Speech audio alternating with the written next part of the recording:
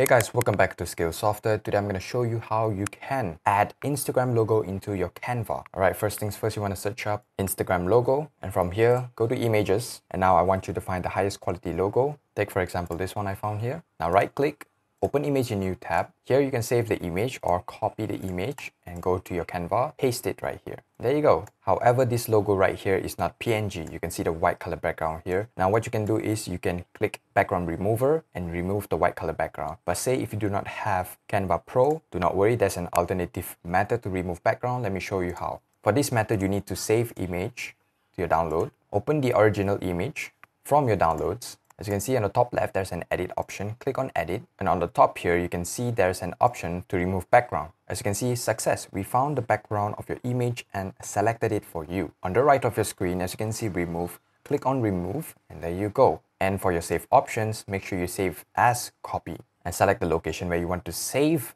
your PNG Instagram logo. I'm going to save it at downloads. And there you go. Now I can drag and drop my Instagram logo. As you can see, now it is in the form of PNG, a transparent background. This is the original one. I'm gonna delete this. And this is the PNG version. There you go. And that's how you can add Instagram logo into your Canva.